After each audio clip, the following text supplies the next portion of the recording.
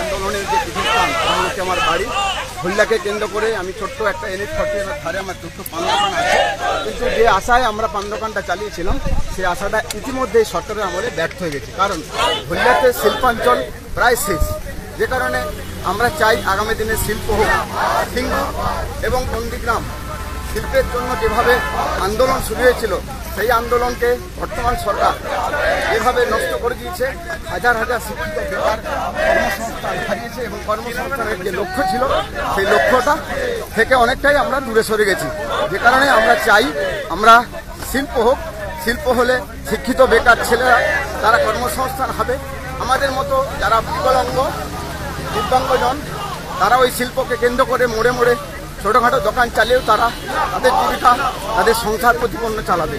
এই আশা নিয়েই আজকের এই সিঙ্গুর থেকে নবান্ন অভিযানে আমি অংশগ্রহণ করছি। আমিও চাই যে অন্তত সরকারের আগামী দিনে সিঙ্গুর এবং নন্দীগ্রামে শুধু নয়, সারা পশ্চিমবাংলায় শিল্পের কথা ভাবতে হবে। আর শিল্প না ভাবলে আমাদের সমাজ বা দেশ, আমাদের রাজ্য কোনোভাবেই এগোতে পারবে না।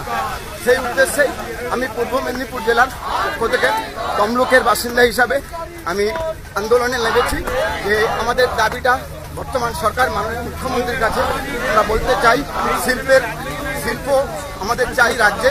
আমাদের রাজ্যে শিল্প না এলে আগামী দিনে যে সমস্ত ছেলেমেয়েরা, শিক্ষিত যুবকরা তারা বেকার হয়ে যাচ্ছে, তাদের বেকারত্বের হাত থেকে রক্ষা করতে গেলে শিল্প অতি অবশ্যই চাই।